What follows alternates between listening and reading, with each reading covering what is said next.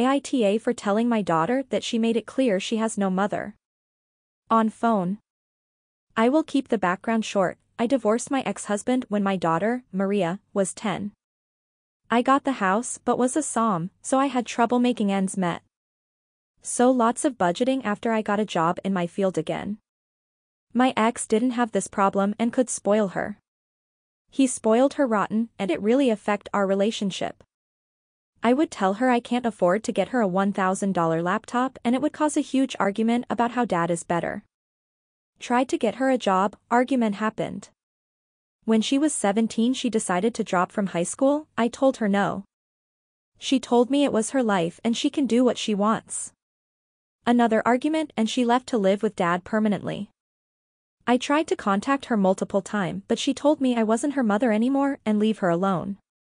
She is now 21 and her dad has gotten remarried and basically kicked her out. She called me and we met up. She wants to move back in and I only told her only under these conditions. 1.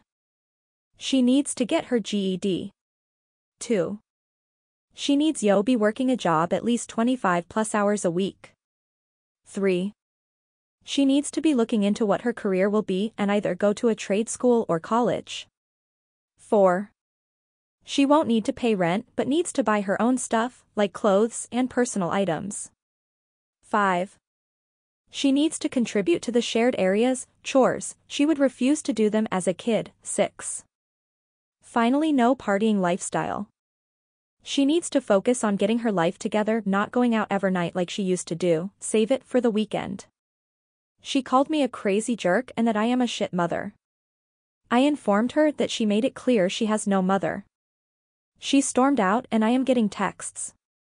If you liked this video, make sure you hit the like button and comment down below your thoughts. Also don't forget to subscribe and hit the notification bell for more videos like this.